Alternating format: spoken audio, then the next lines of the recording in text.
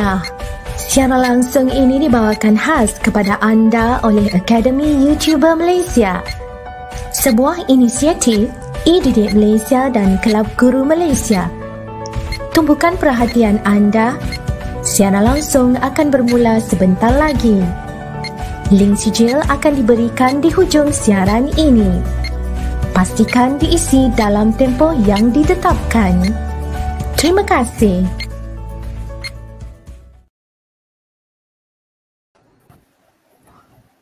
Bismillahirrahmanirrahim. Assalamualaikum warahmatullahi taala wabarakatuh dan salam sejahtera. Saya Cikgu Ainun Semion dari Akademi YouTuber bersiaran dari channel Teacher Yuhaida Yusof. Selamat datang diucapkan kepada semua penonton yang turut bersama kami pada kelas malam ini. Apa khabar semua? Jadi diharapkan semuanya dalam keadaan baik dan sehat sejahtera.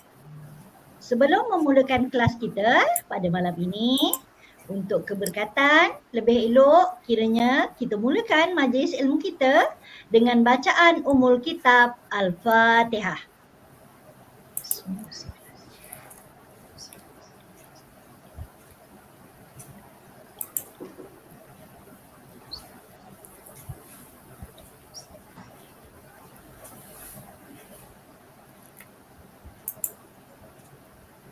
Amin amin amin ya rabbal alamin.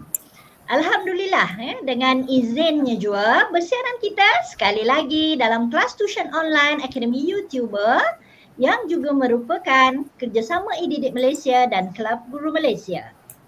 Kali ini kelas ekonomi SPM bersama Teacher Yuhaida ha, membawakan tajuk eh. Ha, ada orang kata tajuk ini sukar eh. Ha, tajuk yeah. apa? Tahap pengeluaran paling cekap. Eh? Jadi sebelum kita membuka tirai kelas kita pada sesi kali ini, ingin saya ingatkan kepada semua penonton yang berhasrat untuk menghantar komen agar menggunakan bahasa yang sopan dan gambar profil yang bersesuaian untuk tontonan umum. Ya, jadi uh, saya perkenalkan dahulu uh, guru-guru dan uh, siapa yang ada bersama kita pada malam ini. Jadi presenter kita ialah teacher Yuhaida Yusof. Assalamualaikum teacher. Waalaikumsalam. Ha, semangat ni nak mengajar. Tak walaupun tajuk ni agak suka, insyaAllah kita redah bersama-sama. InsyaAllah. Uh, macam mana dah apa ni dah dah dapat dah cucu baru ya? Ah, dia bersalin setelah tiga hari di hospital. Dapat cucu baru. Alhamdulillah dipermudahkan. Bertambah lagi umat Muhammad. Ya. Ah. Tahniah Cici Yuhaida dan keluarga. Okey, jadi moderator uh, saya sendiri Cikgu Ainun Semion. Ya, kemudian kita ada uh, uh, ki, uh, kita punya CH ya, control host kita tak lain tak bukan uh, Cikgu Hasina. Uh, Nur di atas tu tertutup. Ah uh, sekarang nampak baru nampak muka. Okey, Cikgu Hasina sihat? Alhamdulillah. Uh, syukur alhamdulillah. Kemudian kita ada pemerhati kita uh, Cikgu Karuniza juga bersama kita. Cikgu Niza, apa yeah. khabar? Baik, Alhamdulillah. Hmm, syukur Alhamdulillah. Eh. Okey, dan uh, dan ada seorang lagi pelajar yang bersama kita pada malam ini, Ashura Daniel. Eh. Apa khabar Ashura? Lama tak naik konti ya? Hmm, sihat cikgu. Ha, Okey, jadi terima kasih bersama kami. Okey, jadi seperti yang kita semua sedia maklum, Akademi YouTuber ada memberikan kredit ayu atau mata ganjaran ya kepada para pelajar. Jadi satu kehadiran dalam mana-mana kelas live uh, anjuran ayu akan uh, diberikan tiga mata kredit. Jadi apa yang perlu kamu lakukan ialah uh, kamu mesti ada ID EDD Junior eh jika mereka yang belum ada untuk membolehkan kamu untuk uh, menebus nanti ya. Uh, jadi uh, cikgu akan umumkan uh, kod kelas kita iaitu satu huruf dan empat digit nombor ya, angka di sepanjang kelas ini berlangsung dan diingatkan anda tidak boleh sama sekali menulis ya nombor kelas dalam ruangan chat. Ya. Uh, jadi ingat perlu fokus pada kelas dan juga uh, nak buat buat catatan sendiri saja ya. Okey dan uh, di akhir uh, kelas nanti kita akan berikan link untuk uh, kamu isi borang rekod kredit eh untuk mendapatkan kredit IU tersebut. Uh, bila dah cukup boleh tukar dengan macam-macam hadiah yang ditawarkan. Uh, Okey. Jadi berilah uh, tumpuan kepada isi pelajaran yang akan disampaikan oleh Teacher Yuhaida pada malam ini. Ya, jadi insyaAllah semoga kelas kita akan uh, dimanfaatkan oleh semua para pelajar. Okey, jadi uh, boleh panggil lagi kawan-kawan kita yang mungkin terlupa ke terleka eh. Uh, panggil mereka masuk kelas ramai-ramai. Rebutlah peluang dan ikuti setiap kelas tuition online percuma panitia ekonomi. Dan diingatkan link CJ penyertaan akan diberikan di penghujung kelas malam ini eh. Ha, di hujung kelas, jangan baru nak start kelas dah sibuk tanya link sijil ya. Ha, Okey, jadi untuk uh, link sijil uh, sekarang ni kita dibenarkan untuk menggunakan uh, email e-didik, kemudian email uh, MOE, uh, kemudian eh, Majawi eh. Ha, ha, tak apa nanti cikgu akan beritahu semula. Ada ada beberapa email yang dibenarkan ya digunakan. Tapi yang personal biasa tu memang tak tak boleh ya. Okey, jadi tanpa melengahkan uh, banyak lagi masa, mari kita ikuti ekon, uh, kelas ekonomi pada malam ini uh, yang akan disampaikan oleh teacher Yuhaida yang bertugas di SMK Taman Desa Rawang Selangor Darul Ehsan dengan tajuk pada malam ini adalah tahap pengeluaran paling cekap ya, bab 4, tingkatan 4 ya. Jadi dengan segala hormatnya dipersilakan Teacher Yuhaida. Ya, terima kasih Cikgu Ainul. Okey.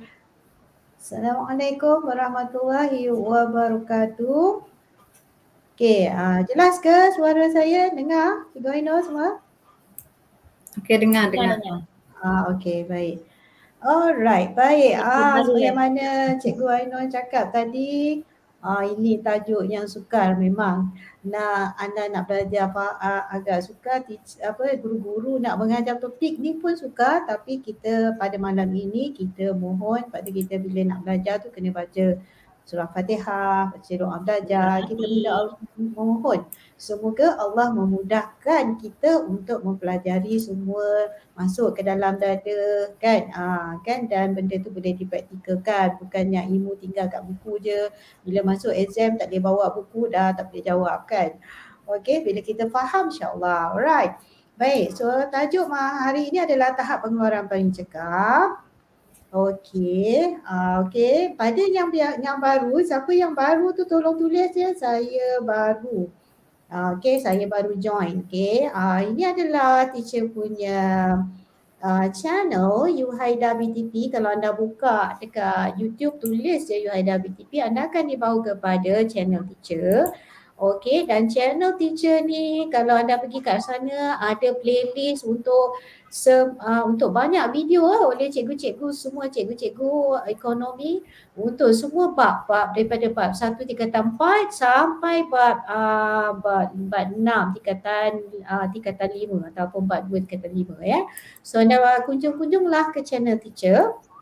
Okey, lepas tu okay, channel Yuhaida BTP dan pada yang baru tu tolong subscribe, okay, like dan share pada rakan-rakan anda kelas malam ini. Mudah-mudahan apabila anda sharing, kawan anda faham, pahala tu dapat kepada anda. Okay, itu adalah antara perangsang kami sebagai guru akademi YouTuber sebab kami nak berkongsi apa ilmu kepada seramai yang mungkin uh, itulah bekalan kami ke akhirat nanti kan cikgu-cikgu. InsyaAllah amin. InsyaAllah amin. Okey, ya, baik. Ini Cikgu Haslina, kelas dia sembilan setengah malam. Lepas tu Cikgu Ainul uh, Rabu 3.30 dan teacher hari Sabtu 8 malam. Tapi minggu depan teacher bercuti sekali lagi sebab teacher nak hantar anak balik ke asrama. So Cikgu Ainul minggu depan akan pergi kepada Sabtu. Okey, uh, yang, yang ni ya, uh, minggu depan Teacher Amna akan pergi, Cikgu Amna akan pergi pada hari Sabtu. Dan juga ini ini semua nama channel ya, nama channel kami anda boleh ziarah dan boleh like, subscribe Cikgu Hasina, Yuhaida BTP, Cikgu Ainul Semion dan juga Cikgu Karuniza. Alright. Okey, pada yang uh, baru, okey, teacher ada Bachelor of Business Administration from Western Illinois University USA. Ada sarjana multimedia dalam pendidikan USI, sudah mengajar 27 tahun daripada 1994. Mengajar di SMK Taman Desa sekarang ni iaitu di Rawang. Taman Desa ni ada 2-3 sekolah kan Taman Desa. Ha. Okey, uh, sekolah dan teacher adalah ketua panitia ekonomi SPM Academy YouTuber dan kelas teacher setiap satu lapan malam. Okey, uh, minggu depan Cikgu Anu akan ambil.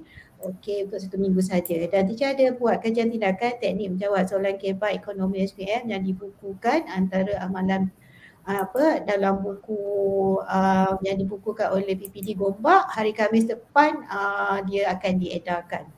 Okay, so teacher asal dari Jitra Kedah dan teacher punya username eh nanti anda nak isi uh, Yuhaida Yusof. Uh, capital Y, capital Y. Alright.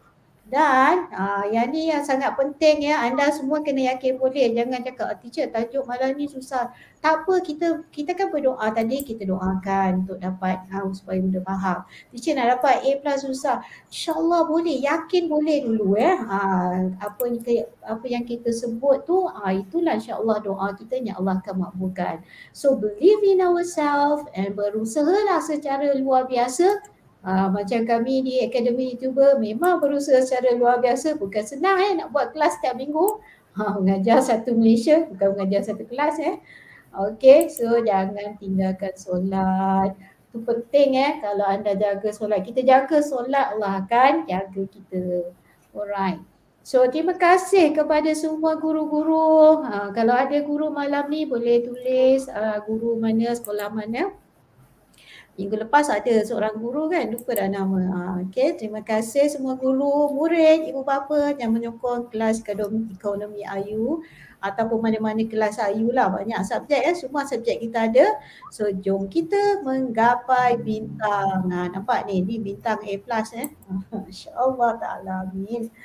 Alright, kita pergi dulu kepada soalan kuizi minggu lepas. Yang ni macam uh, set induksi lah untuk buka apa apa yang kita nak belajar kita review apa yang kita belajar minggu lepas ya iaitu soalan-soalan kuizi yang kita buat. Okey, hasil minggu lepas kita buat hasil dan untung kan? Uh, hasil adalah jumlah penerimaan yang diperolehi firma daripada jualan keluarannya. Uh, Okey, betul. Pak orang salah. So hasil tu maknanya berapa RM harga tu darab dengan berapa kuantiti yang kita boleh jual. Okey.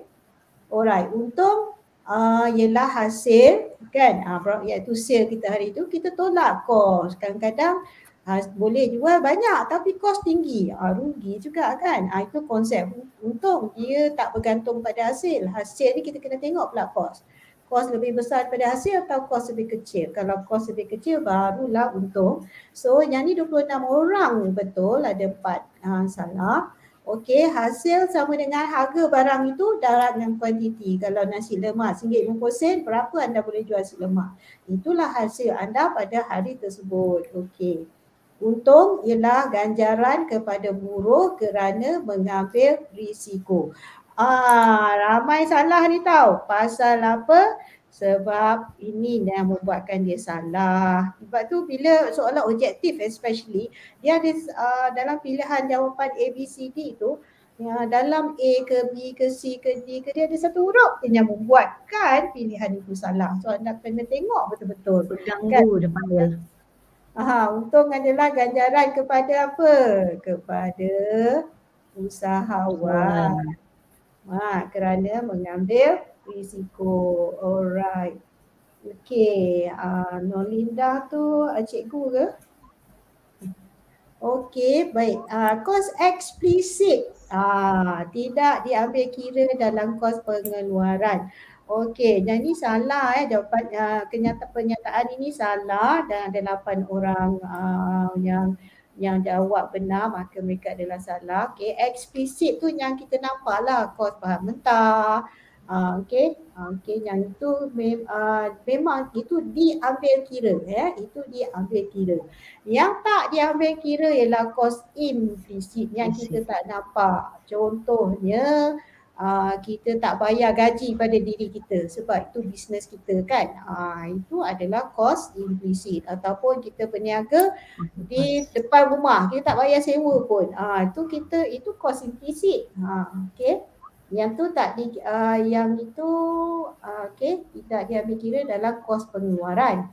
Ha, okay, contoh kos implisit ialah sewa tanah sendiri. Niaga depan rumah, kita tak payah sewa. Sedangkan itu sebenarnya dia adalah kos implisit. Ya.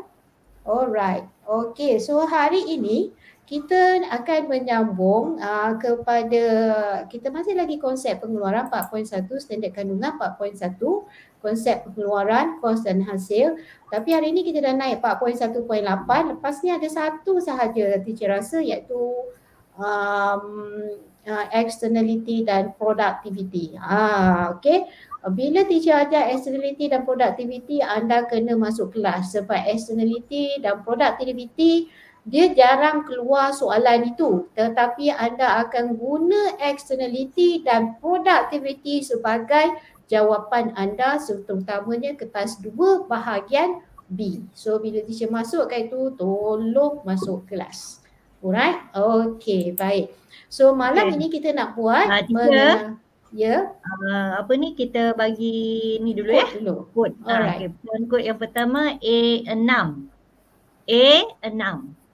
Okay, ada yang uh, ada yang komen dekat situ dia kata slide tak clear.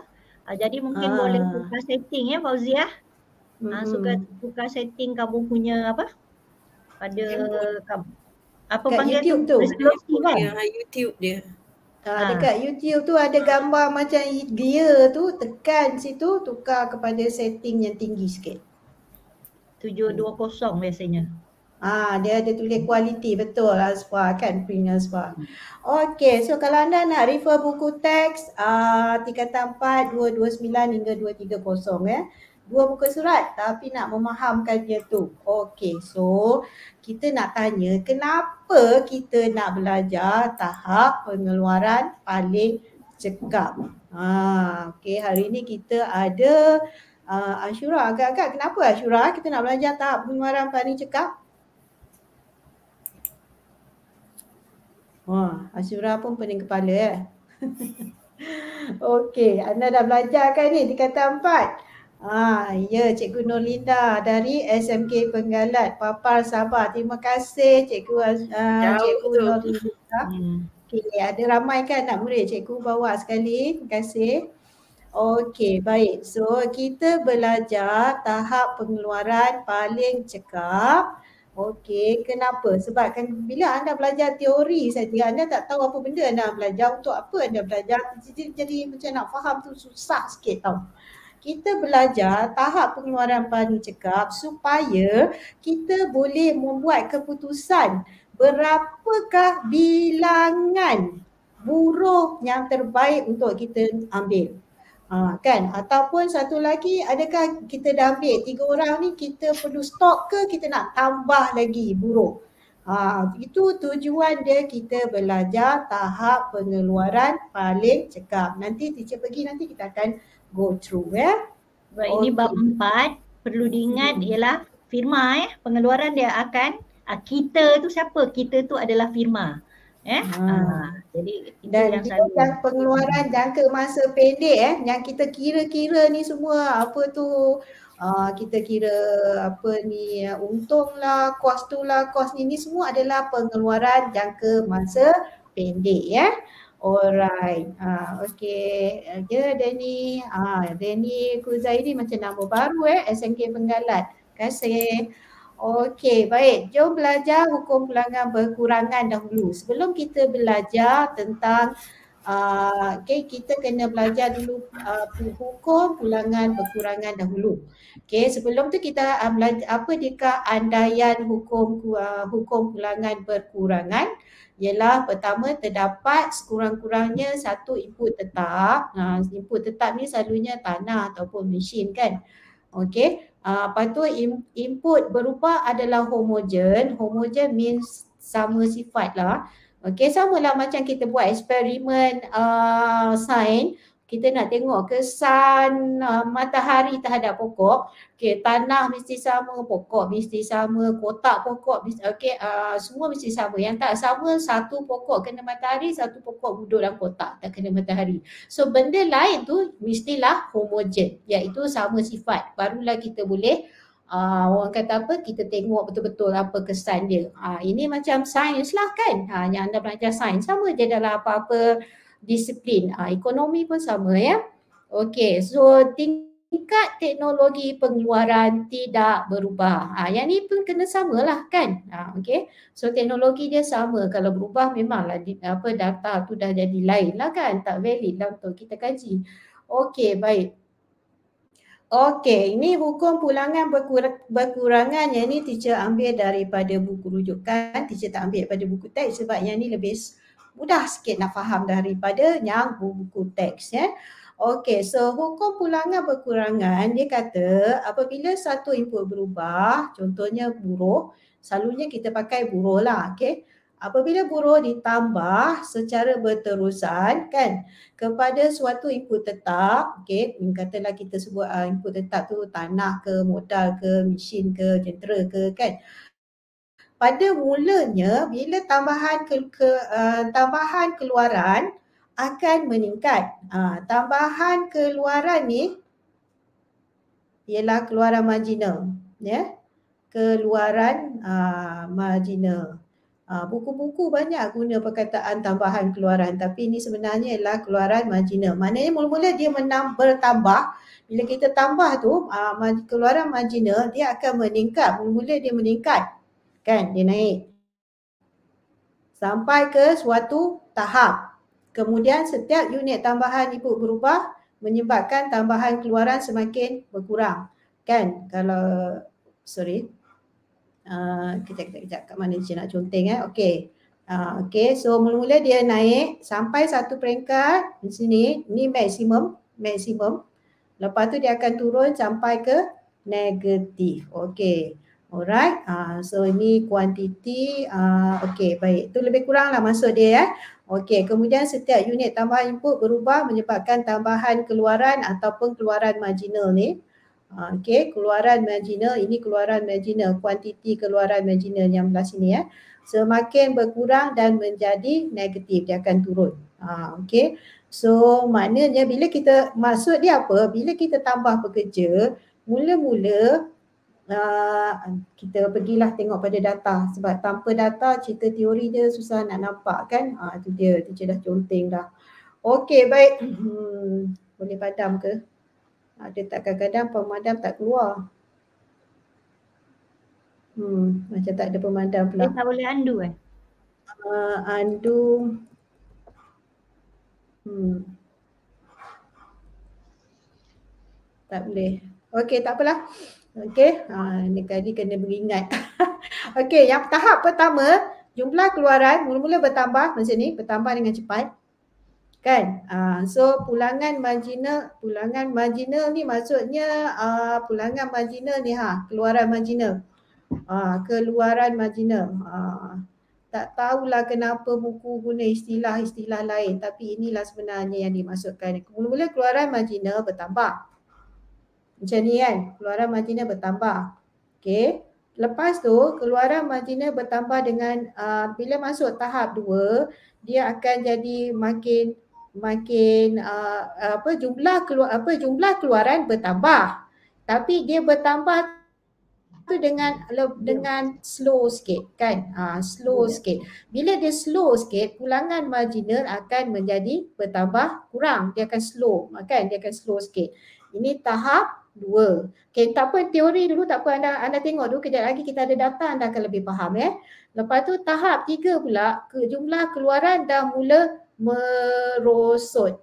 Kan? Uh, merosot maknanya dia sampai ke tahap uh, pulangan uh, marginal dah jadi negatif. Maksudnya kita tambah pekerja bukannya tambah lagi uh, output output jadi makin kurang. Pelik tak kan? Ha, tapi ni teacher dah, dah cerita waktu kita sebut pasal kos-kos dulu kan sebelum ni kan. Ha, alright. Ha, dia memang macam tu sifat manusia. Okey baik. So kita tengok kepada data supaya lebih faham. Alright. Okey. Oh, Nurlinda. Ini cikgu ke ni? Kelas tuition bermanfaat. Terima kasih. Okey, baik. So yang ni ya, uh, yang ni kita tengok uh, dari segi data dia. Sebab bila SPM KSSM antara pembaruan dalam SPM KSSM yang SPM-nya bermula pada SPM 2018, silibusnya bermula pada 2017 ialah tentang menganalisa ke uh, menganalisa data. Uh, murid-murid SPM sekarang patutnya dah boleh menganalisa data dan anda membuat keputusan berdasarkan data. So keputusan apa yang kita nak buat yang kita belajar tahap pengeluaran uh, cekap paling cekap malam ni ialah kita nak buat keputusan bila uh, kita nak kena tambah pekerja ke, kita nak kena stop ke, kita kena buang ke. Ha, itu tujuan kita belajar tahap pengeluaran uh, dan ke apa ya tahap pengeluaran paling cekap dan ingat semua ini yang kita belajar ni semua adalah tahap pengeluaran jangka pendek. Okey, baik. Tahap satu dia tidak cekap. Teacher, cakap tak cekap. Tapi pengeluaran keluar. Uh, pengelu apa jumlah pengeluaran bertambah. Keluaran purata pun bertambah. Keluaran marginal pun bertambah. Kenapa dia cakap tak cekap? Ha ini yang kita kita kata anda kena ha, dengar betul-betul ya. Baik. Kenapa? Sebab pembaziran input tetap. Macam mana tu teacher pembaziran input tetap macam ni? Sekarang ni kita ada input tetap, katalah ni tanah. Kalau tak tanah pun mesin. Kita ada input tetap satu kan. Uh, katalah uh, teacher sebut mesin lah contoh senang kan. Ada satu mesin. Okay. So input berubah kita ialah buruh. Uh, tak ada orang bila tak ada buruh memanglah kosong kan. Bila teacher, bila katalah ni my business lah. Bila teacher ada seorang buruh. Okay. Uh, dia macam mesin tu uh, setakat seorang buruh, dua orang buruh, tiga orang buruh, mesin tu dia boleh kata kalau sampai pekerja uh, sampai sepuluh, uh, sembilan, tujuh, lapan buruh. Tapi sekarang teacher cuma ada satu, dua, tiga buruh je. Tak berpadanan dengan mesin teacher ataupun input tetap teacher. Ha, sebab tu dia dipanggil tahap satu tidak cekap. Ha, boleh faham tak kenapa kita cakap tak cekap? Ha, tolong tulis, ha, faham tak kenapa tak cakap? Kan? Katalah kita ada satu mesin, pekerja hanya seorang, dua orang, tiga orang. Jadi maknanya apa tu rugilah mesin ni boleh boleh apa boleh kata uh, lagi ramai pekerja boleh keluar lagi banyak tapi sekarang ni setakat satu dua tiga orang saja so dikira, dikira uh, keluaran tidak cekap okey so tidak cekap tapi jumlah keluaran meningkat jumlah uh, keluaran purata pun meningkat dan keluaran marginal pun meningkat. Tetapi mesin kita ni belum optimize. Mesin kita belum optimize. Uh, macam ni je, optimize. M-I-Z eh. M-I-X. Bukan secara optimal. M-A-X. Uh, belum uh, optimum lah senang. Optimum. Uh, belum optimum. Ah, okay. Ah, boleh faham. Ah, kan? Ah. Alah mesin canggih tapi pekerja baru tiga orang je. Mesin tu boleh apa boleh digunakan oleh ramai lagi pekerja kan. Ini memanglah naik, ini memanglah naik, ini memanglah naik. Tapi mesin kita belum digunakan secara optimum. Okey, boleh jelas eh? Ah, okey. Dia kalau kita faham data-data ni akan oh now all the numbers make sense. Betul tak? Ha, kalau kita tak faham nombor ni macam pening tau kita tengok. Okay, tapi tingkatan uh, dalam silibus KSSM ni anda kena boleh uh, menafsir data. Uh, okay, so ini kita belajar. Okay, yang kedua kita masuk tahap ni hukum pulangan berkurangan bermula. Masuk dia apa? Berkurang, apa ni? Pulangan berkurang, pulangan berkurangan. Hukum pulangan berkurangan dah mula. Pasal apa? Kita nampak nombor ini semakin turun. Ha, ini pun semakin turun. Okey, production memanglah sentiasa naik. Bila kita tambah pekerja, production ataupun jumlah keluaran, total production dia sentiasa naik. Sebab ini kita tambah pekerja daripada tiga orang, kita naik kepada empat orang, lima orang sampai sembilan orang ni. Okay, so production akan naik. Tapi naik dia itu bertambah slow. Kan? Kalau daripada 32 pergi kepada 37 iaitu 37 tolak 32 ah ialah berapa? 5 kan? Ah inilah. Ah ingat kan kita belajar keluaran marginal. Keluaran marginal ni maknanya tambah seorang lagi bekerja berapa? Ah boleh tambah. Ah kan? So anda tolak tolak tolak ni kita dapat nombor ni. Okey, keluaran purata ingat tak? Jumlah keluaran ni bahagi keluaran ni bahagi dengan bilangan uh, pekerja ataupun input uh, berubah kan. So kita dapat oh average seorang boleh keluarkan 7.4 okay, kalau kg ya. Kalau kg kg lah uh, 7.4 kg uh, apa tepung contohnya kilang tepung. Okay. Uh, so far okay semua? Ah, okay. So kita nampak bahawa keluaran purata sudah semakin turun kan. Uh, dan dan oleh kerana itu maknanya dia meningkat tapi dia meningkat uh, sudah se, sudah agak slow macam ni. Dia meningkat tapi dia meningkat tu semakin slow. So hukum pulangan berkurangan sudah bermula di sini. Namun pada tahap dua ini dia adalah paling cekap. Ingat ah ni masuk masuk dalam dalam kuizi nanti tahap dua paling cekap. Teacher, kenapa pula paling cekap? Dah makin menurun yang ni kan? Ha, keluaran purata menurun, keluaran, keluaran marginal menurun. Tapi kenapa paling cekap? Sebab mesin kita sudah optimize. Ha, teacher sebut mesin ya, teacher ambil. Mesin ni senang sikit lah. Kan, mesin sudah uh, apa ni diguna secara optimum. Ha, kan?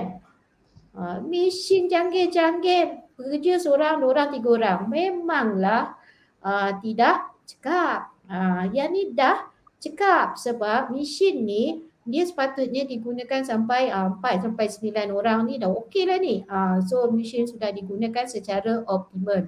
Walaupun kita punya uh, jumlah keluaran makin naik tapi naik dia dah makin slow maka keluaran purata pun makin slow uh, keluaran marginal pun dah makin mak, yang ni menurun keluaran marginal pun makin menurun tapi dia tetap pengeluaran ini meningkat sampai ke tahap maksimum. Ah maksimum dia kat mana? Ah maksimum dia dekat 46. Alright, setakat ni okey ke? Faham ke? Tolong tulis. Ha, faham ke kenapa dia paling cekap? Ha, Okey, okay. uh, sementara mereka fikir faham tak faham tu boleh tulis di ruangan chat tu, teacher. Kita bagi hmm. kod uh, yang seterusnya malam ini iaitu lima nombor lima dan kita beri laluan iklan dulu ya. Ha, uh, jadi kamu okay. boleh tulis nanti. Ha. Wow, banyaknya hadiah menarik menanti anda. Wah, kini Akademi YouTuber mengambil inisiatif baru di mana memberikan hadiah-hadiah ini secara percuma. Ya, percuma kepada anda semua. Hmm, bagaimana caranya? Dengan mengikuti kelas tuition online percuma Akademi YouTuber sambil mengutip mata kredit, anda dapat menukarkannya dengan hadiah-hadiah yang menarik ini. Tunggu apa lagi? Segalanya percuma.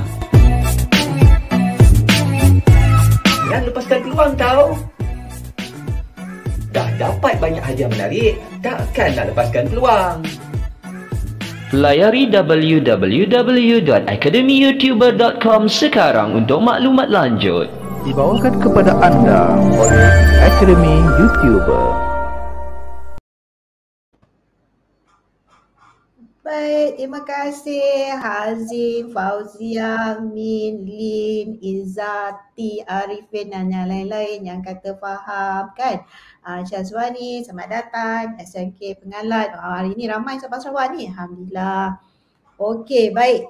Okay, so maknanya yang ni dikira tidak cekap, tahap satu tidak cekap kerana mesin belum digunakan secara optimum walaupun jumlah keluaran meningkat, keluaran purata meningkat, keluaran marginal meningkat. Okay, bila tahap dua, dia dah start. Uh, macam mana kita tahu tahap dua ni? Nombor ni dah makin turun. Ha, maknanya dia dah masuk tahap dua lah. Okay, so tapi dia paling cekap sebab penggunaan mesin sudah optimum. Kita boleh tambah lagi uh, jumlah pengeluaran boleh meningkat lagi bila kita tambah uh, buruh ni, bila kita tambah tambah tambah jumlah pengeluaran boleh naik naik naik lagi sampai tahap maksimum. Okay, so ini adalah tahap dua. So macam mana kita tahu kita dah masuk tahap tiga iaitu tahap tidak cekap. Ha, this is when data inilah yang memberitahu kita bahawa kita dah terlebih ambil pekerja. Lepas tu kita belajar tentang uh, apa ni uh, tahap pengeluaran paling cekap. Kita nak tahu takat mana kita punya maksimum. Okey, bila kita tambah seorang lagi daripada 9 pekerja kepada 10 pekerja, Ai, ha, pelik bin ajaib kita punya pengeluaran bukannya meningkat. Ha, katalah sebelum ni 46 kilogram tepung. Tambah lagi seorang pekerja turun kepada 45 kilogram tepung. Ha, okey, satu sebab mesin tu dah tak boleh tampung pekerja yang terlalu ramai. Okey. Mesin uh, sudah sudah tidak boleh tampung uh, pekerja yang terlalu ramai. So solutionnya ialah tambah mesin. Tetapi oleh kerana ini adalah yang apa ni pengeluaran jangka pendek, maka kita tak ada kita tak boleh tambah mesin. Sebab jangka masa pendek memang kita tak boleh tambah input tetap. Okey, jelas kan? Ha, so kita dah sampai tahap di mana ianya sudah sampai tidak cekap. Okay, so apa maksud dia pembaziran input berubah? Maksudnya input berubah tu siapa? Input berubah tu ialah buruh. Kita tambah seorang lagi pekerja, pekerja yang ke-10 ni bazir tau, buang duit kita. Ah, so you have to know from this data, you know that you should stop here. Patutnya kita ambil pekerja sampai sembilan sahaja. Pekerja yang ke-10 tu kita tengok data, wah, so kita kena buang seorang lah. Uh, that's why kita belajar tahap pengeluaran paling cekap. Okay, so dan keluaran marginal dia sudah negatif. Of course lah negatif. Sebab daripada 46 dia turun kepada 45. 46 tolak uh, 45 tolak 46 ialah negatif satu. Ha, so maknanya memang dah tak cekap buang duit. Ha, tambah lagi seorang pekerja dah lah apa tu dia punya jumlah keluaran sepatutnya naik dia jadi makin turun kan? Uh, pelik bin ajaib dia dah turun uh, dah tak produktif. Uh, maka keluaran marginal pun sudah capai negatif. Memang tidak cekap. Uh, alright. So uh, kalau teacher tanya. Yes. Ah uh, sekejap eh. Nak nak tambah sikit. Jadi untuk hmm. kamu kenal pasti uh, tahap pengeluaran paling cekap ni dia biasanya kamu akan tengok pada ni eh dia biasanya akan bermula apabila uh, keluaran marginal sama dengan keluaran purata. Uh, hmm. Nampak tak kat sini? Uh, jadi maknanya ya. 8 uh, keluaran marginal 8 sama dengan keluaran purata. Jadi biasanya untuk tahap paling cekap uh, tahap 2 ni dia akan bermula di situ dan dia berakhir kat mana? Dia berakhir apabila keluaran marginal adalah sifar. Ya? Yeah? Ha, jadi kalau kamu perhatikan uh, contoh-contoh dia akan macam tu. Maknanya bila dia hmm. bermula, dia akan bermula apabila keluaran marginal sama dengan keluaran purata dan dia akan berakhir apabila keluaran marginal sama dengan sifar. Eh? Ha, dan kamu hmm. kalau kamu perhatikan di situ uh, biasanya dekat situ jumlah keluaran dia akan maksimum. Cikgu dah bagi tahu dulu kan. Kalau hmm. keluaran uh, kemar, keluaran kita tengok maksimum. Eh? Ha, jadi maknanya ha, dekat situlah sebab soalan biasanya hmm. dia akan tanya kamu kaitan eh, jumlah keluaran, jumlah keluaran purata, uh, keluaran marginal dengan input berubah. Eh? Ha, jadi benda-benda itulah yang kita kena cerita. Ha, hmm. Maknanya pada tahap yang paling cekap adalah tahap dua ni apa berlaku. Okey, dia akan bermula apabila keluaran marginal sama dengan keluaran purata. Ha, sama dengan berapa? Sama dengan 8. Eh? Ha, dia, kita kena sebutlah dan dia berakhir hmm. bila apabila keluaran marginal sama dengan sifar. Jadi yang lain-lain tu nanti kamu akan hurai ikut kepada kehendak soalan. Ha. Okey, hmm. Terima kasih Cikgu Aino. Cikgu Aino bagi tiga tu. Cuba tulis balik. Macam mana kita nak tahu bahawa kita dah masuk uh, pengeluaran paling cekap. Okey, boleh uh, ada tiga teacher uh, teacher ulang balik. Anda tolong tulis ya. Yang pertama ialah apabila keluaran purata sama dengan keluaran marginal. Yang kedua, teacher Cikgu Aino sebut tadi ialah apabila keluaran marginal sudah kosong. Yang ketiga ialah jumlah keluaran sudah maksimum. Ah, tolong tulis. Ah, macam mana kita tahu bahawa ini adalah tahap tahap dua iaitu tahap paling cekap. Ada tiga tadi tolong tulis dekat chat supaya anda uh, alert. Dan uh, terima kasih yang datang semua. Uh, TCS ni sekolah apa ya? Okey, ha tu dah tulis tu Hazim. Ha, Okey, terima kasih. Teacher teruskan anda tulis ya. Alright. So sekarang ni yang ni teacher dah blurkan sikit sebab kita nak fokus ke atas ni. Apa maksud tahap satu iaitu pada buruh satu, dua dan tiga.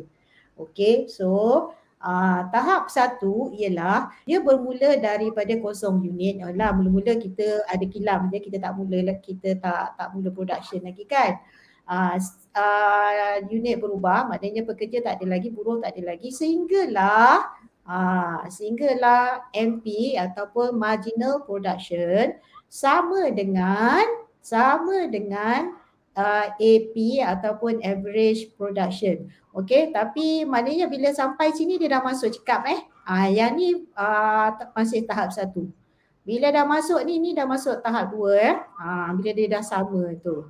Alright, so we stop here tahap satu. Okay, alright. Next, um, jumlah keluaran iaitu TP yang ni total production meningkat daripada kalau kita tengok data ini beri ni 6 unit kepada 24 unit apabila bilangan buruh bertambah daripada satu orang kepada tiga orang. Okay, ini just membaca data je lah. Okay, yang ke, uh, keluaran purata average production meningkat dan mencapai maksimum. Ah, dia dah sampai maksimum. Tapi we have to stop here sebab bawah ni dia dah sama. Ah, keluaran purata dan marginal sama ni dah masuk uh, tahap uh, apa tu uh, cekap eh. Uh, so dia dah sampai maksimum. Okay, keluaran purata meningkat dan mencapai maksimum apa unit. Keluaran marginal pula uh, pada mulanya meningkat. Uh, nampak tak ni? Sampai kat sini dia meningkat. So that means ini adalah tahap satu iaitu tahap tidak cekap eh. Tahap satu tidak cekap eh. Ha, kena tulis juga ni. Uh, okay. Tahap tidak cekap. Okay. Uh, alright, mana lagi eh? Uh, yang yang mudahnya eh nanti bila selepas kamu dah dapatkan semua semua apa nilai-nilai ni, uh, kamu pergi setiap tu jumlah keluaran tu kamu boleh bulatkan bila dia maksimum, uh, keluaran purata bila dia maksimum dan keluaran marginal bila dia maksimum. Uh, jadi daripada hmm. situ nanti kita senang nak buat dia punya tahap-tahap tu. Kalaupun tak diberi hmm. kamu boleh buat sendiri. Ha, okay. nampak tak ni? Ni maksimum, ni maksimum. Ha, sini dah masuk dah masuk cekap sebab dia dah sama, okey? Ha, yang ni sebenarnya teacher blur kan. Okey, uh, fokus ke atas ni dulu. Okey, baik. Uh, mana tadi eh? 8 unit. Ah ni, keluaran marginal, hmm. marginal, keluaran marginal pada mulanya meningkat lebih cepat daripada keluaran purata. Kan nampak tak ni? Uh, 6, 8, 10. Macam ni 6, 7, 8. Dia naik dia tu macam ni naik 2, 2. Ini naik 1, 1. Kan? Jadi keluaran marginal pada mulanya meningkat lebih cepat. Uh, dia memang marginal akan lebih cepat daripada keluaran purata pada peringkat ini, tahap satu ini dan mencapai maksimum uh, buruh berapa? Ikut data ni buruh yang ke tiga kan. Ha, okay tahap pengeluaran ini tidak cekap kerana input berubah yang digunakan secara relatif lebih kecil berbanding dengan input tetap. Ni yang teacher cakap ni. Pekerja tiga orang je. Ha, tapi mesin tu satu besar kedabak. Mesin ni boleh cater sampai 8-9 orang. Tapi pekerja baru so tiga orang sahaja ya. So maknanya ulang balik uh, tahap pengeluaran ini tidak cekap kerana input berubah yang digunakan secara relatif iaitu pekerja tu satu, dua, tiga orang tu kecil je berbanding dengan input tetap tu. Mesin besar gedabak, pekerja tiga orang je kan. Jadi berlaku apa? berlaku pembaziran input tetap. Ni soalan kuizi ni, soalan kuizi. right, soalan bocor. Okey, baik. Lepas tu, Ha, bila anda nampak, katalah anda ambil pekerja seorang, dua orang, tiga orang. Lepas tu anda nampak, okey nombor ni naik, nombor ni naik, nombor ni pun naik. Adakah anda nak stop dekat sini? No. Sebagai ini kan kita belajar ni sebab satu hari nanti anda akan jadi ramai pada anda akan jadi usahawan. Anda baca data ni, bila anda nampak oh ni naik, ini pun naik, saya nak stop dekat tiga pekerja ke? No, you continue. Ha, okay. Pengeluar tidak berhenti mengeluar output pada tahap ini kerana penambahan input berubah akan meningkatkan output. That means you kena tambah lagi pekerja. Boleh lagi. Maknanya your machine ni boleh cater lagi untuk penambahan pekerja. Alright. So setakat ni jelas ya tahap satu. Ha, okay. Kalau tulis uh, TCS, SMK, Tarsi, uh, Tarsi, Tarsician Convent. Oh, wah ramai lah malam ni TCS. Nampaknya ramai murid-murid baru. Terima kasih. Jangan lupa uh, subscribe dan like eh. Terima kasih. Orang siapa cikgu dia? Orang uh, siapa cikgu dia?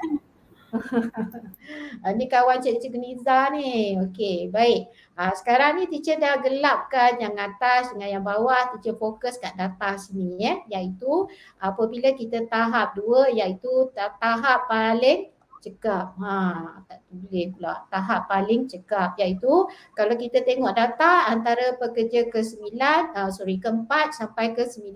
So when it start, dia start bila keluaran purata sama dengan keluaran, keluaran marginal. Ha, ni tempat dia start. Ha, ini, data dia. Ha, okay, bermula apabila average production sama, alamak, dengan MP. Uh, MP sama dengan MP. MP. Ah, average production ataupun keluaran purata sama dengan keluaran marginal dan berakhir apabila keluaran marginal kosong. So stop sini. Ha, dia kat dalam range ni sahaja. Bila ni sama dan bila ni kosong. Ah ha, boleh. Ha, ni kalau keluar SPM tahun ni seronok lah Abang dah faham kan? Ha, okay. Selalunya soalan macam ni keluar dalam kertas dua bahagian A. Betul tak Cikgu Ainul? Uh, ya, ya, untuk analisa data ni selalunya kertas dua bahagian A bukan bahagian B. Ha, Okey, baik. Uh, jumlah keluaran meningkat. Okey, tadi kita jumlah keluaran sampai 24 kan. Sekarang naik lagi meningkat daripada 32 unit sehingga mencapai maksimum pada 46. So yang tu yang tadi teacher kata bila bila anda kat tahap satu tadi anda tengok data anda naik maknanya you can still employ pekerja kan. Anda akan jadi usahawan nanti kan. Amin. Ramai akan jadi usahawan tu. So when you nampak data you naik, ni naik, ni naik, you can still tambah pekerja. Okay. Uh, okay, sebab uh, okay, pada tahap ini kedua-dua AP dan MP uh, average production uh, keluaran kurata dan keluaran marginal dia dah start turun. Dia dah start turun. Okay, data dia dah start turun. Tetapi dia punya jumlah keluaran masih lagi meningkat. Uh, okay, dan maknanya dekat sini sekarang mesin anda sudah uh, mesin anda sudah optimum. Ha, kan? Ha, ini, ini tiga orang pekerja je. Ha, mesin canggih kau main kan? Ha, so sekarang ni dah optimal. So you you can apa ni selagi nombor ini tidak mencapai negatif, anda boleh terus menambah pekerja. Ha, anda bos kan? Ha, ni teacher ajar ni. Satu hari anda buat bisnes jangan lupa teacher Juhaida. Oh dulu teacher Juhaida dah ajar data ni. Betul lah saya kena tambah pekerja ni. Ha, right, faham? Okey, baik. Okey, jadi pada tahap ini, ah ini dah kan. Pada tahap ini gabungan antara input berubah iaitu pekerja ni dengan input tetap iaitu mesin ni adalah paling cekap. Kenapa paling cekap? Sebab kita mencapai maksimum. Ah, jumlah keluaran total production dah capai maksimum. Kalau kita kata productivity tinggi. Ha, kita tengok dekat apa? Kita tengok jumlah keluaran. Betul tak? Ha, ni yang paling tinggi lah. Oh, alright? Okay, boleh ya? Ha, so, itu yang paling cekap. Alright. So, bila kita nampak dah bahawa keluaran marginal kita dah kosong, tambah seorang pekerja uh, jumlah keluaran masih lagi uh, tahap yang sama, tidak ada peningkatan, that is when you should stop hiring. Anda sepatutnya ambil maksimum sembilan orang pekerja. Okay, boleh ya? Nah, alright. So tahap tiga pula. Ha, yang ni, yang bawah ni. Ha, ni teacher dah blurkan, dah blurkan. Kita fokus kat bawah ni. Okay, daripada 46, turun pada 45 ha, when you bila dah sampai kosong you masih ambil pekerja memang itu adalah satu tindakan yang sangat tidak wajar. Sebab anda telah membawa bisnes anda masuk ke tahap tiga iaitu tahap tidak tidak cekap. Apa ya tidak cekap ke membazir ke apa ya tidak cekap tidak cekap lah. Memanglah tidak cekap eh Okey, bermula daripada uh, uh, ni MP uh, marginal production kosong ni uh, pada tahap uh, TP total production. Total production dah maksimum dah 46 46. Kan? So, pertambahan penggunaan input kita, kita tadi 9 dah okey dah. Kita tambah lagi seorang pekerja jadi 10 orang. Okey, pertambahan penggunaan input berubah menyebabkan total production berkurang. Ha, kan yang kata ajaib ni kan tambah orang, tambah pekerja tapi production kurang. Pasal apa? Sebab mesin dah optimum dah. Dah tak boleh dah. Dah tak nak tampung dah pekerja yang makin ramai. Kan? Ha, tu satu. Pembaziran, kat sini pembaziran ha, input berubah. Kalau pembaziran dekat... input berubah. Kedua ha, disebab al- productivity. Tu tak Cikgu Ainun. Ha, bila dia dah ramai-ramai, dia menular, dia pergi merokok, dia pergi macam-macam hal. Ah tu yang jadi production ah ni apa tajuk productivity sebab uh, murid yang K K byte dia boleh kaitkan semua ya. Ah so productivity dah turun lah bila dah terlampau ramai pekerja. Okey, pada tahap ini penggunaan input berubah akan menyebabkan keluaran menurun pembaziran maka berlaku apa? Berlakulah pembaziran penggunaan buruh. Tambah seorang lagi bekerja, bazir je bayar gaji kat dia kan. Ha. Baik guna pergi melancong ke apa kan. Ha. Okay. So maknanya, ha, tak lain je tu. Maknanya pengeluar menggunakan lebih banyak buruh. Nampak tak tu? Ha, lebih banyak buruh untuk menghasilkan. Ui banyak ni jangan salah. Untuk menghasilkan jumlah keluaran yang semakin berkurang kita tambah seorang pekerja kot-kot nak dapat lagi banyak. Jadi, tapi apa yang kita nampak pengeluaran semakin berkurang. Memang membazir. Ha, kan ha, input berubah yang ke-10 ni ataupun pekerja buruh yang ke-10 ni adalah satu pembaziran. Sedangkan sebagai firma objektif kita ialah objektif kita ialah apa um, Syura? Firma? Memaksimumkan keuntungan. Ya sayang, memaksimumkan keuntungan. Bila anda tambah lagi seorang pekerja, anda bukannya memaksimumkan keuntungan, anda ada rugi lagi kat situ kan. Ha, so apa yang berlaku? Berlaku ketidakcekapan dalam pengeluaran. Apa bila tak cekap, maka apakah kesannya? Ha, apa kesan dia Ashura? Cuba baca. Pengusaha ha. kerugian. Ya, rugi. Bukannya tambah seorang pekerja nak tambah hasil, nak tambah beban ada. Ha, okay, so you should stop at nine uh, workers. Alright, setakat ni boleh ya? Ha, okay, baik. So cuba tulis dekat uh, chat. Uh, tahap kedua tadi berhenti dekat mana? Berhenti kat mana Ashura? Tahap dua berhenti, berhenti kat mana? apabila keluaran marginal dah sampai sifar. Ya, pandai. Okay, bila marginal dah sampai sifar, itu adalah maksimum tahap dua. Ni dah masuk tahap tiga iaitu tahap tidak cakap. Tahap membazir. Alright. Yes, Hazim. Very good. Okay, so kita pergi sikit soalan sebelum kita buat ni. Okay, uh, ini bukan soalan. Uh, ini, uh, yelah, ini latihan. Okay, uh, teacher buat setakat yang sempat ya. Eh? Okey, jadual di bawah. So sekarang ni anda guna apa yang anda faham tadi untuk buat soalan ni. Jadual di bawah menunjukkan hubungan antara penggunaan buruh dengan keluasan uh, getah, keluasan kebun getah ni. Uh, dalam tempoh sebulan. Okey, baik. So ini soalan dia lengkapkan jadual di atas. Kita pergi soalan yang pertama ya. lengkapkan jadual di atas dulu. Okey, macam mana kita kira keluaran purata? Ha, ni teacher tak boleh nak. Ha, tadi bila explain teacher go slow, really slow. Yang ni kena cepat sikit. Okey, keluaran purata ialah jumlah jumlah kos pula dah. Jumlah ju, keluaran purata, jumlah oh, oh jumlah uh, keluaran, uh, jumlah output bagi dengan jumlah input atau pekerja tu ya. Sorry, sorry. Ha, kadang-kadang copy paste tu terlupa nak edit. Okey. So tu keluaran purata. So maknanya katalah uh, okey keluaran kita kita ada 6000. Uh, 6000 ni dikeluarkan oleh berapa orang buruh?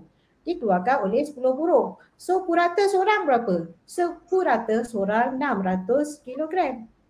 Ha, setakat ni faham?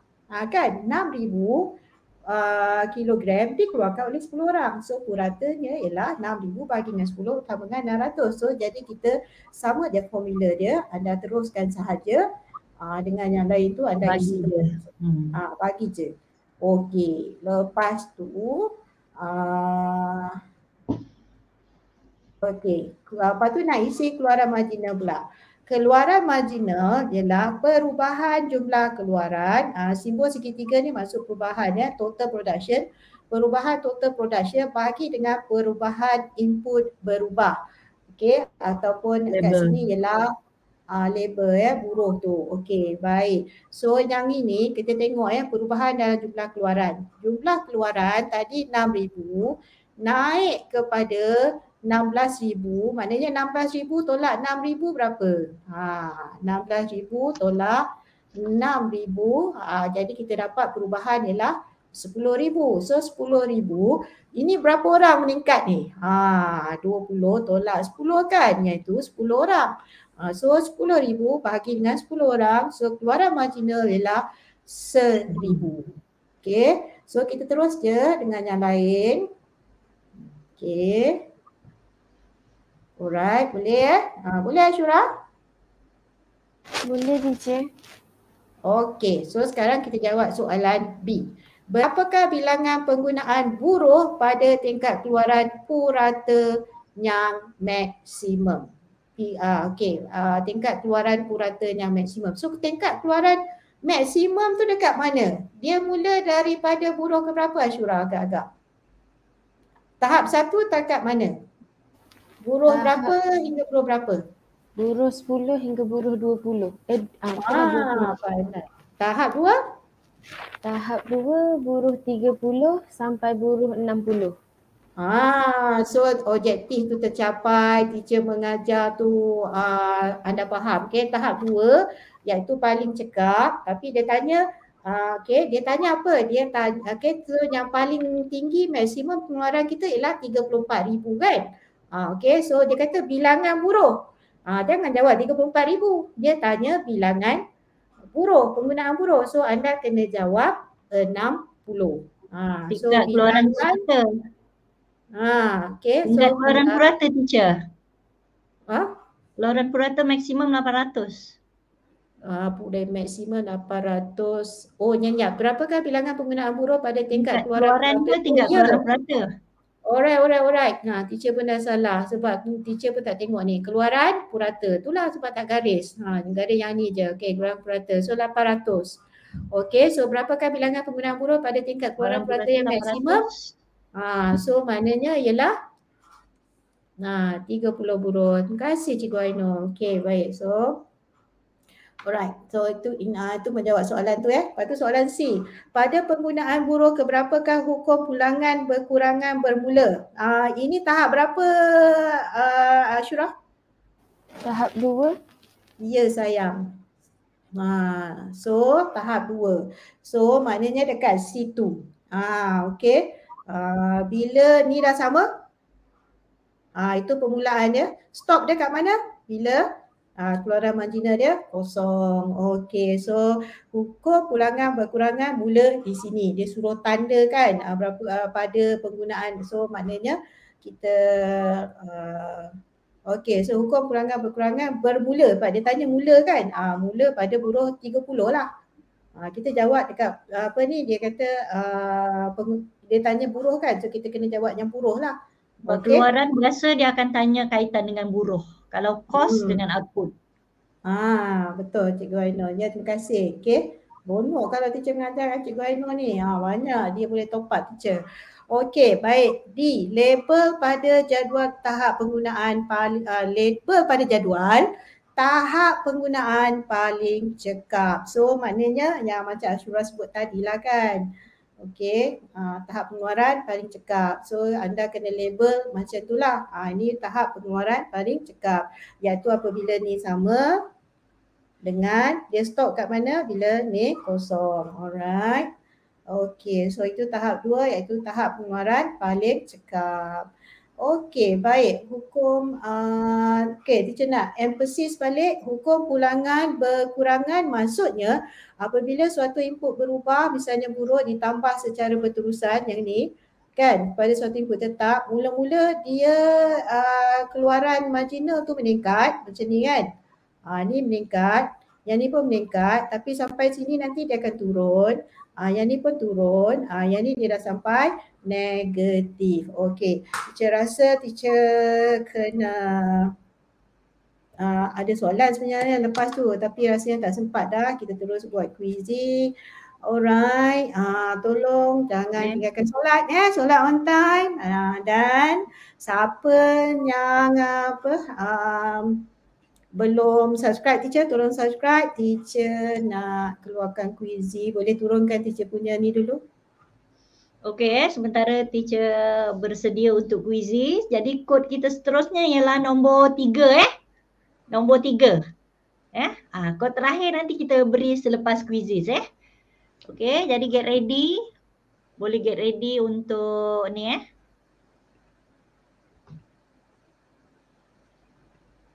Okey, dah boleh naikkan. Jangan lupa audio. Uh, eh, kejap, kejap. Hmm. Sekejap, sekejap, sekejap. Share balik. Share semula. Ha, audio. Nanti senyap sunyi. Uh, uh, Chrome tab, share. Oh, dia dah auto lah. Ha. Alright. Okay. Uh, boleh naikkan.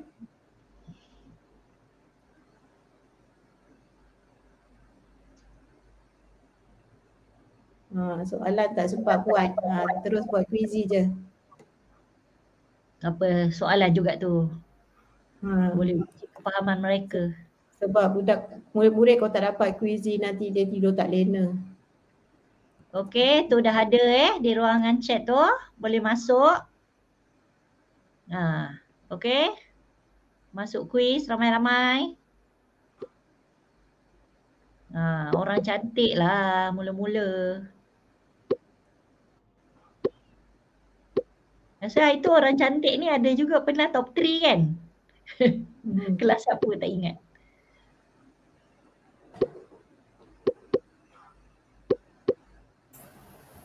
Anak oh, menteri. Wah. Macam-macam nama. Anak menteri. Macam-macam dah keluar ni. Ha. ha itu bakal Perdana Menteri. Ha. tak dapat anak menteri je lah. Lepas ni menantu.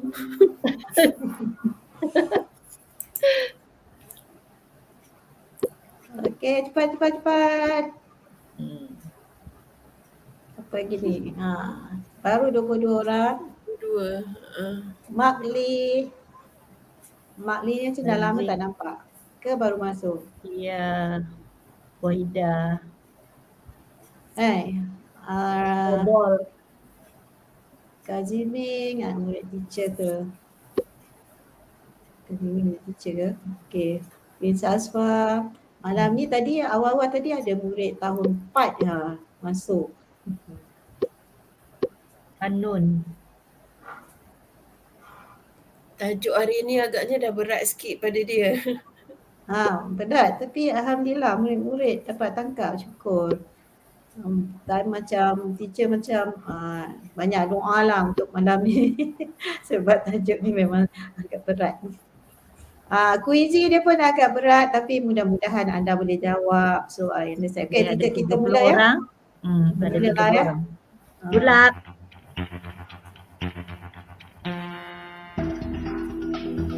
Dalam kekurangan berkurangan, mula-mula jumlah keluaran bertambah dengan cepat. Mula jumlah keluaran bertambah dengan perlahan. Akhirnya, jumlah keluaran merosot. Bagi 45 saat sebab panjang sikit dia punya statement. Statement dia panjang kan? Ni betul salah Ha, kan? cuma betul uh, ben- benar salah je. Bila statement panjang bagi lama sikit dia baca. Ha, yalah. Bagi masa dia nak baca tu kan.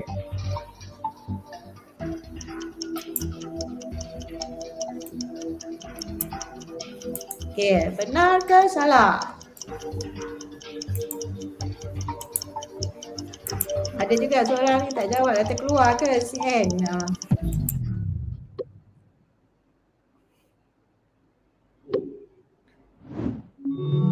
Wah. Prince Asfa yang ke atas, Naruto, Ashura. Alright. Next question. Empat orang dia salah. Alhamdulillah. Objektif tercapai. Sebab tajuk ni berat. Dalam muka pulangan berkurangan, mula-mula pulangan marginal bertambah. Kemudian pulangan marginal berkurang. Akhirnya pulangan marginal negatif. Benar atau salah?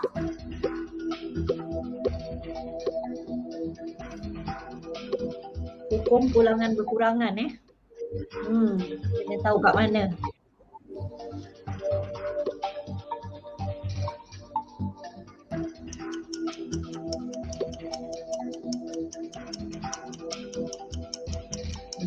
Tiga puluh tiga tiga puluh satu je jawab. Yang ni macam dah terkeluar CN ni. Okay, time's up. Alright, berapa orang betul? Wah, Princess Fa. Oh, Ashura nombor dua lah. Ha, bekat duduk kat konti. Ha, okay. Ah, 21 orang betul, 10 orang salah. Okey, tak apa. Alhamdulillah. Next question.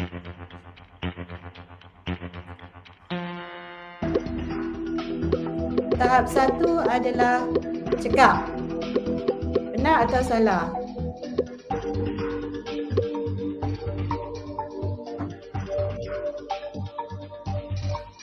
Ha, yang ni 30 saat. Jadi macam pagi ni.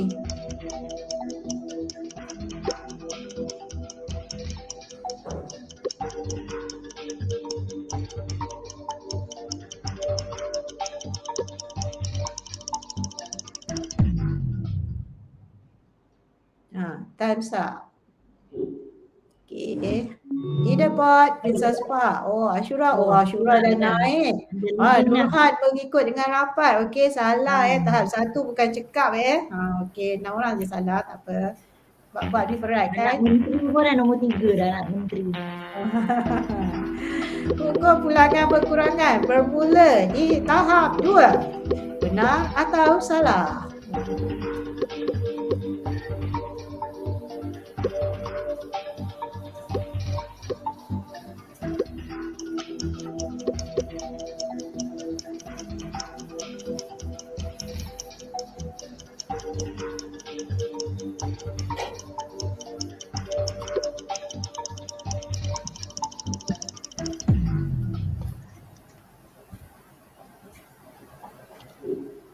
Wah, siapa kali leaderboard sekarang?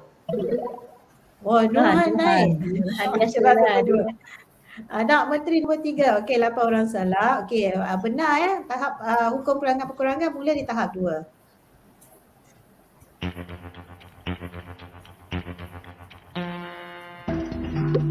Tahap tiga adalah tahap paling cekap. Benar atau salah?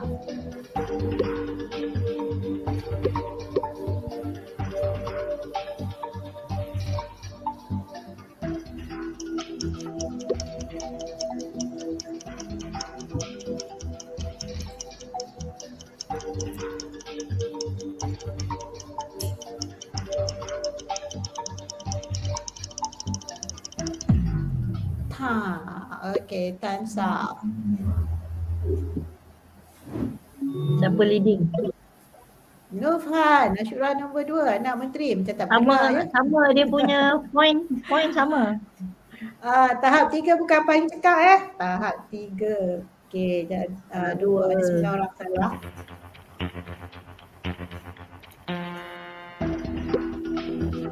Tahap pengeluaran ini tidak cekap kerana input berubah yang digunakan secara relatif lebih kecil berbanding dengan input tetap berlaku pembaziran input tetap. Oh Masya Allah, teacher punya soalan ni uh, tak apalah tapi boleh jawab juga. Benar atau salah?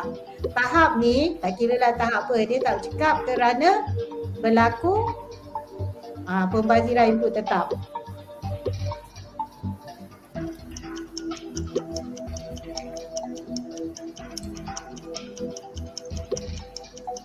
Benar atau salah?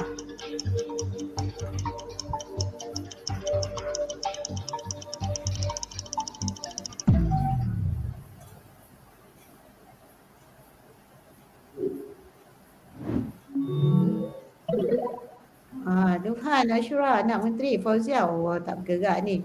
Ya benar ya. Ha, tahap tiga tu dia tak cekap sebab kita ambil daripada sembilan pekerja kepada sepuluh pekerja. Bazir je. Alright.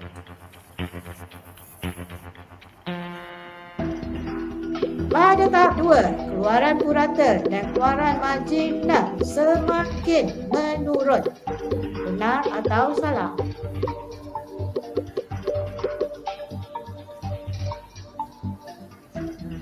Soalan ni kalau tak belajar, soalan-soalan ni kalau tak belajar tadi, wah, dapat dalam exam memang kurang pening. Ini Alhamdulillah dah belajar kan.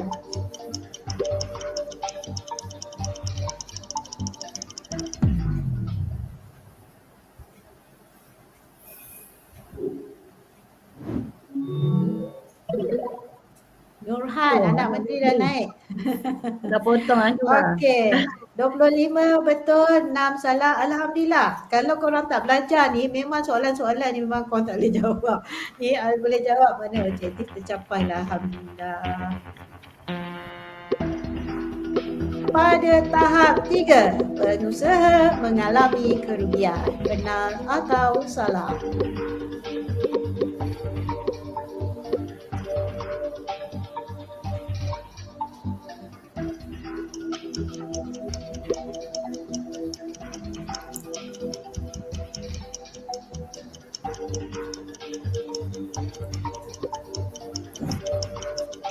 Ha, Nurhan Hafiz salah tekan pula dah.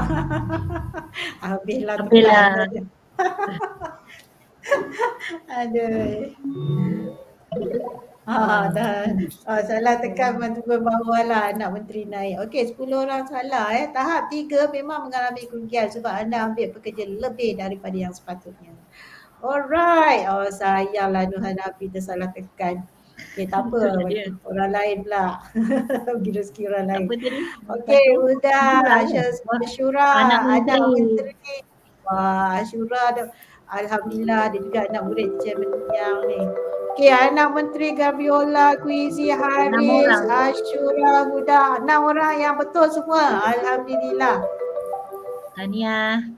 Tahniah, tahniah kepada enam orang ini yang betul semua. Anda adalah pemenang sebenarnya. Anak Menteri Ashura Uda Syazwana, Kwizi, Graviola Snowball and Haris. Uh, okay, so uh, okay, so it, um, Alright, so cuma teacher nak pesan dekat anda bahawa bila nanti anda buat anda berniaga, anda kena kira tu.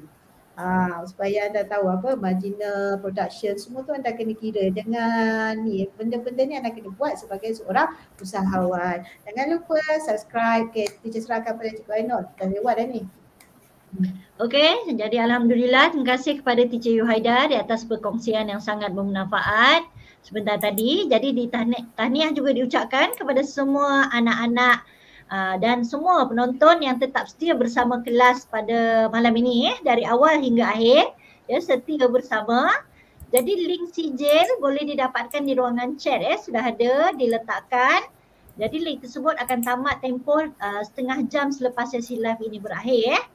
Uh, dan uh, kamu boleh gunakan tadi email IDD, uh, MOE, eh, uh, My Guru eh, My Guru dengan Jawi tadi eh. Okey. Jadi kesalahan masukkan alamat email tidak akan dilayan. Jadi link untuk ganjaran mata kredit Ayu juga diberikan di ruangan chat dan untuk claim tu kamu perlukan uh, username Teacher Yuhaida eh dah ada tadi, dah diberikan juga di ruangan chat. Okey, jadi kita punya kod terakhir malam ini adalah nombor lima. Ah, mana tangan? Ah, lima. eh, nombor lima. Jadi sebagai tanda penghargaan dan sokongan, mari kita like, subscribe, share channel presenter kita pada malam ini iaitu Cici Yuhaida. InsyaAllah kelas seterusnya untuk subjek ekonomi adalah pada hari Selasa uh, jam 9.30 malam bersama kelas uh, Cikgu Haslina. Dan pada hari Sabtu minggu depan 8 malam uh, kelas apa? Uh, Cikgu Ainon eh? Uh, Cikgu Haida kita apa beri laluan ya menguruskan anak eh menguruskan yeah. anak jadi sila layari www.academyoutuber.com untuk mendapatkan maklumat terkini dan jadual kelas tuition percuma Ayu jadi kongsikan portal uh, Ayu ini kepada rakan-rakan dan juga guru-guru seluruh Malaysia. Jadi semua kelas uh, online percuma boleh ditonton semula bila-bila masa melalui link yang disediakan di portal Ayu. Semoga ada yang saya. minta ada yang minta uh, quiz ni teacher akan bagi dalam grup Telegram teacher ya. Uh, tu ada bagi link tu uh, sebab nak okay. nak ambil. Okay, so dapatkan dalam grup Telegram teacher.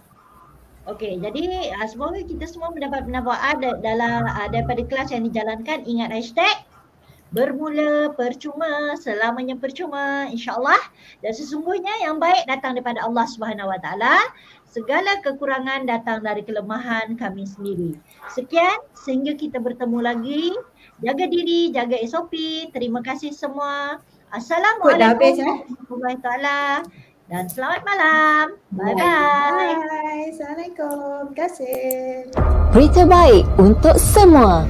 Kini Akademi YouTuber memperkenalkan sistem mata gancaran kredit Ayu untuk dikumpul.